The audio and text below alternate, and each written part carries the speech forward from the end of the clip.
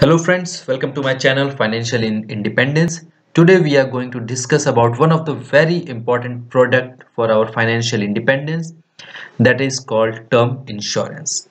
So in this uh, entire pandemic period we have seen how fragile the life is and how unpredictable it is. So at this particular point of time you must have realized how crucial term insurance is if not, I will be covering in my next video what are the advantages of having a term insurance. And also you can Google it to understand why term insurance is the best investment you can make for your family members when you are not alone. So this is the the entire tagline which we since our childhood we are listening about LIC जीवन के साथ भी जीवन के बाद भी so term insurance is all about that now, when we decide for term insurance, the very critical thing which people are often confused is what is the premium period we should go for. If you go to the website of any term insurance selling company, you will find there are multiple products and what the typical period they offer is like this uh, one time 5 year 10 years 60 years or entire policy duration so it is very important to understand how these impact your real wealth the money you are holding in your pocket. And for this to understand we will understanding two very critical terms which is inflation rate and future value. Inflation rate talks about what is the worth of your current money in the next year or 10 years down the line. And future value tells the same uh, what is the impact of inflation on your current value and what is the value of your say 100 rupees of today in the next year so taking an example of 100 rupees today in the year 2022 and inflation rate of 7%. In 2023 with inflation rate of 7% this 100 rupees will be worth only of 93 rupees. This is how impactful inflation is. Another way you can see a term insurance cover of 1 crore in 2022 will be only worth of 10 lakh 72,000 by the time you reach 2055 so this is the impact of inflation. Now moving towards why inflation and future value is important while deciding the premium paying period. So here we can see the company is offering different periods. So for a cover of 1 crore and the person's age 27 years with this rider of critical illness and waiver of premium which is very important and I will cover it in my next video. So the for the first year premium or the premium for the entire duration will be same. This is different from health insurance. Here the premium remains constant throughout your policy period. So for annually one time will cost 2,28,927 and similarly for till the age of 60 years which is your retirement age I have assumed will 15,065 now moving uh, covering where inflation is impacting. And this must inform this sheet is completely editable so you can adjust the inflation rate here and it will automatically adjust the calculation. Why I have taken 7% I have taken based on this historical data and for the last decade it was almost 6.8% or we can say 6.8% for the last two decades for 6% for last three decades 7.2 and last four decades which is very dreading it's 7.76 it will really impact your money. So let's see.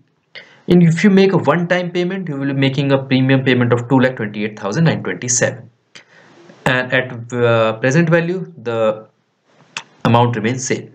If you pay in five years the sum of all your premiums will be 2 lakh 82,000 for 10 years the sum of all premium will be 3 lakh 380 till the age of retirement it will be 4 lakh 97,000 and pay for 40 years it will be 6 lakh 3032 so you must be wondering if I pay for 60 years and this is a trick used by insurance agent they will say if you pay till 60 you will be paying 4 lakh 97,000 but if you make a one-time payment of paying 5 years it is only 2 lakh 28,000 2 lakh 80, 82,000 but here is the impact or the value I am trying to add through my video.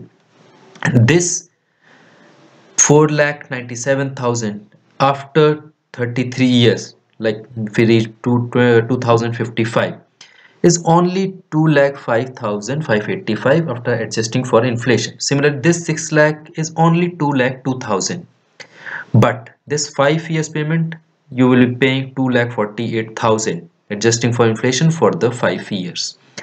Here it is shown. So you have seen what is the future value. Lowest of these comes here. In the 60 years or 45 years.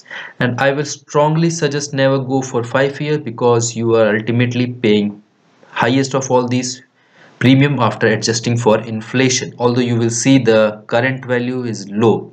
And this is where all the trick of the insurance agents come. You have to beware of that and push them. If they saying they pay in five years and you will be free from any liabilities don't go for that.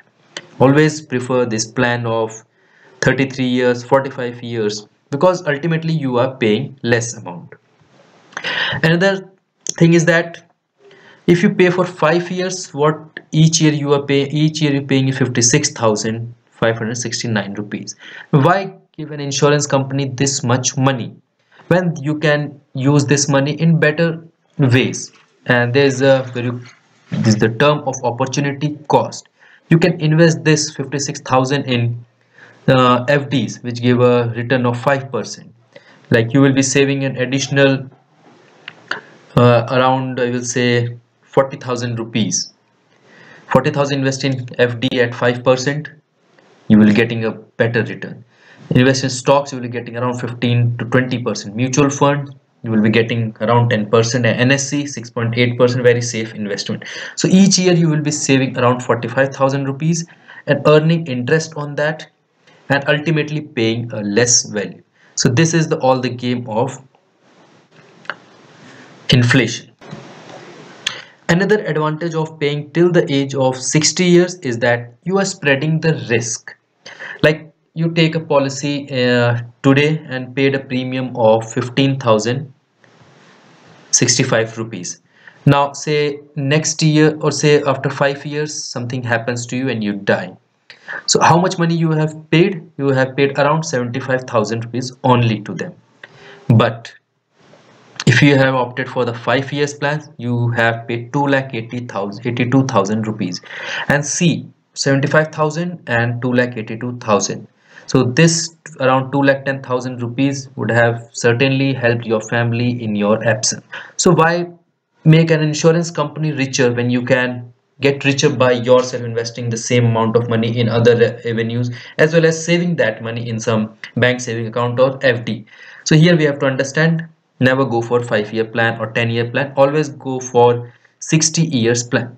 Why I would not suggest for 45 years? Because at 60 you will must have retired. Now from where you will manage the premium paying resource? So 14,000 every year you have to manage when you don't have any other income stream. And here the difference is only 3000 so you can certainly go for a 60 years till the you are earning and there is inflow of money. And here is the formula I have used. Future value is equal present value divided by 1 plus interest rate powered by the number of years. So you can C it is C11 which is the current premium divided by 1 plus inflation rate. And for the first year you drag it till 5 you will calculate your future value of 56,000 at the end of 5 years this will be 43,000 so we have understood how these things are. If you have any question you can please drop me a comment and I will respond to you. Thank you I will be sharing this Excel sheet in the comment section. You can download and try yourself various permutation and combination. And at last, I will request you, this is my first video, so please pardon me for any mistakes. And please like, share and subscribe my channel. I will be coming up with the how to decide the different riders in a premium term insurance policy. Thank you and have a nice day.